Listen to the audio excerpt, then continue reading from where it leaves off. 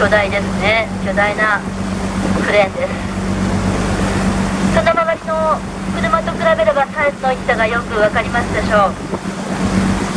はい鉄鉱石ヤードのこの山も見えてますよ。煙突は焼結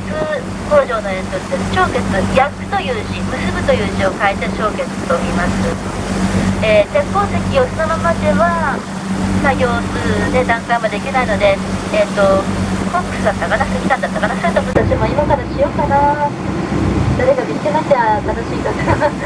同じ人と結婚してもいいですよねはい